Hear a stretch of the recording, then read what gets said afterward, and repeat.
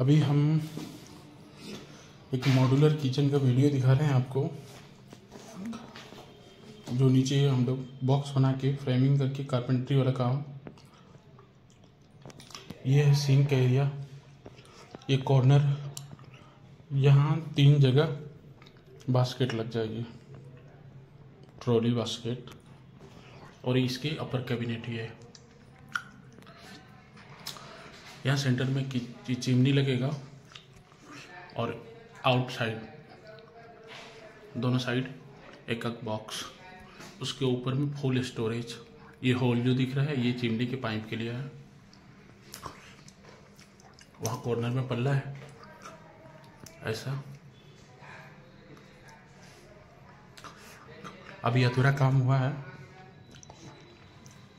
पूरा काम होने का भी एक वीडियो आपको और बना के बच बताएँगे।